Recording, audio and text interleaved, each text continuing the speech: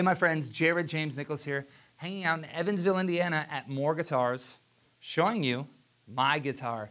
This is my second signature model with Epiphone. This is Gold Glory. This came out about a year and a half ago, and it flat out rocks. I am so pumped to not only have a guitar that means so much to me, my first one being Old Glory, which was the all black Les Paul custom style version of this, right?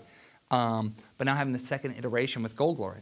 It tried and true single pickup, one bridge pickup, a volume knob, a tone knob, wrap tail bridge, Grover tuners, solid piece of mahogany, thick neck, ebony fingerboard. It's everything that I was always looking for in a single pickup Les Paul. And Epiphone has been a dream to work with. This guitar has been all over the world, truly, and it just keeps getting better. This thing just flat out rocks. Tuning is great, stability while taking it on the road for playing it.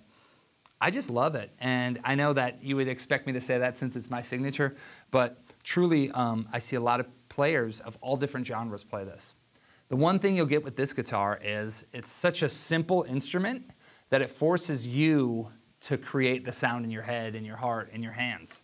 It's not a one size fits all guitar.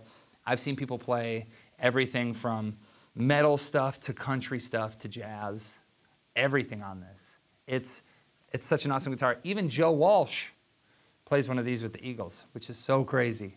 Yes, Joe Walsh, one of my biggest heroes, plays a Gold Glory. So this is my guitar.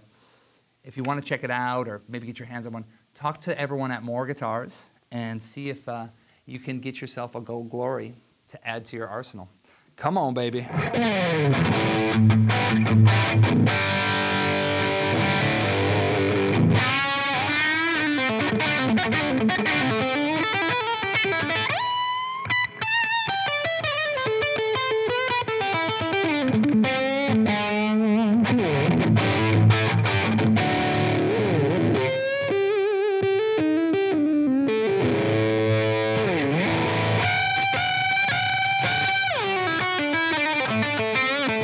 We'll be right back.